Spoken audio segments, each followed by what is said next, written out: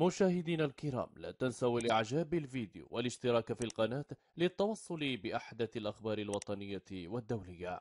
أثارت تصريحات مشجعة جزائرية مثيرة للجدل ردة فعل قوية في الكوديفوار ووصفت هذه المشجعة الجزائرية الوضع في الساحل العاج بأنه يشبه العيش في العصر الحجري.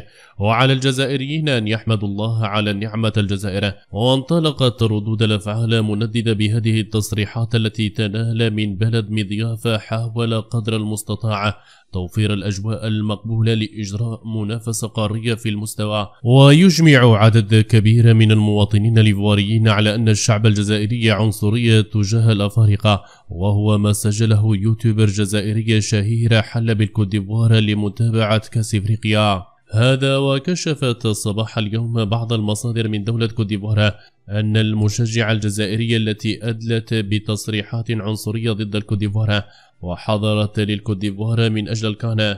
تم طردها صباح اليوم وستكون في يد السلطات الجزائرية من أجل شرح التصريحات التي أدلت بها. نشكركم على حسن المتابعة. إلى اللقاء.